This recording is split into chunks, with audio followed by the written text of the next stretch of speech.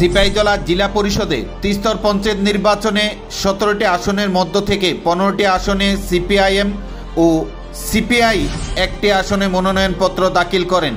শুক্রবার দুপুর দুইটায় এমনটাই জানান রাজ্যের প্রাক্তন অর্থমন্ত্রী তথা বিশালগড় বিধানসভা কেন্দ্রের প্রাক্তন বিধায়ক বানুলাল সাহা। তিনি তাও জানান, সমস্ত রাজনৈতিক প্রতিবন্ধকতা কাটিয়ে উঠতে পারলে তিস্তর পঞ্চায়েত নির্বাচনে প্রচারে নামবে সিপিআইএম দল। তেমনি কংগ্রেস দলের সতেরোটি আসনের মধ্য থেকে পনেরোটি আসনে জেলা পরিষদে মনোনয়নপত্র দাখিল করে। সিপাহীজলা জেলা পরিষদে একটি আসনে বর্তমানে বিনা প্রতিদ্বন্দ্বিতায় বিজেপি জয়লাভ করেন। সংবাদ মাধ্যমে এদিনে বিস্তারিত আলোচনা করেন রাজ্যের প্রাক্তন অর্থমন্ত্রী তথা বিশালগড় বিধানসভা কেন্দ্রের বিধায়ক বানুলাল সাহা।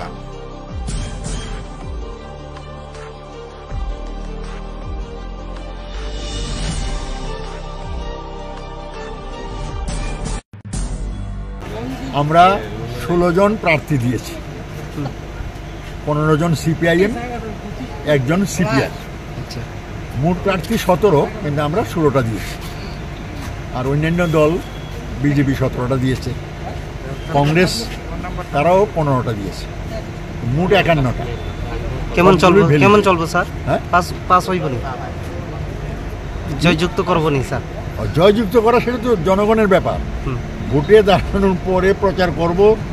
যারা যে বেশি ভোট পাবে সে জিতবে। তো আমরা প্রচার করব। যদিও আমাদের নানা রকম রাজনৈতিক অসুবিধা আছে, প্রতিবন্ধকতা আছে, এগুলো কাটিয়ে আমরা চেষ্টা করব মানুষের কাছে প্রচার নিয়ে যাওয়ার জন্য। Okay sir